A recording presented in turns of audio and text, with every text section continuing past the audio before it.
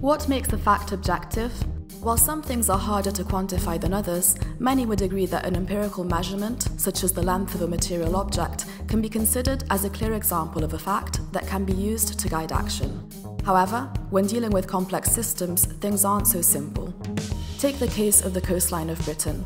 If we ask the captain of a large ship measuring the length of the coastline with a nautical chart, they will tell us that it is a certain length.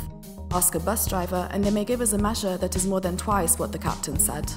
Who is right, the bus driver who measured the coastline based on their fuel consumption, or the captain using a nautical chart to predict the duration of their journey? If you ask a person who walks on the beach every day, they might tell you that the length of the coastline is not given, as it depends on the tide. This is to say, we can't measure the length of a complex object that has different meanings and identities across different scales. When we quantify something, we quantify a definition of that thing, and not the thing itself. This may all seem very abstract, but it is incredibly relevant for science advice to policy. Consider a complex sustainability challenge, such as the need to reduce emissions. Different actors, viewing the problem from different scales, will measure things differently and use different measurements to guide their actions.